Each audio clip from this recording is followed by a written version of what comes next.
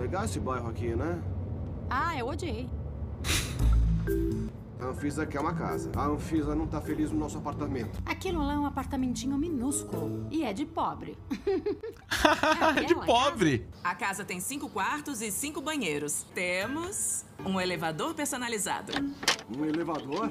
Eu posso ter mais espaço pra mim. e Isso é muito importante. Ela quis dizer, galera, que o elevador pode ser o quarto dele, porque ela não precisa de elevador numa casa de dois andar. Contanto que ele fique com o elevador de serviço. Porque o principal ela ainda vai usar. Ela e o cachorro dela. Se eu quero essa casa, ele vai ter que alugar. O que, que impede? Eu preciso de um tempinho. Tem que juntar uma grana primeiro, Anfisa. Você precisa de quanto tempo?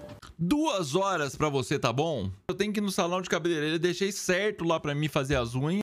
Eu vou voltando, tá bom pra você? Que se não tiver bom, eu também vou dar uma volta ao shopping. Aliás, eu vou precisar do cartão de crédito.